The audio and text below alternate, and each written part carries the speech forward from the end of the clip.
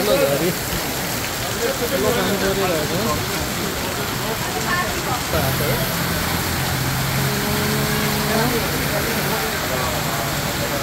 पानी फुटेर यस्तै भएको यो चाहिँ माछा भौडी दोभान यस्तो पानी अरे आमा मुनिबाट पानी हेर सटरमा ठुलो पानी हो माछा भौडी दोभानमा त्यस्तो भइरहेछ पानीहरू। त्यो फुटाएर नै यो बेला नै यो गरेर आइरहेको हो।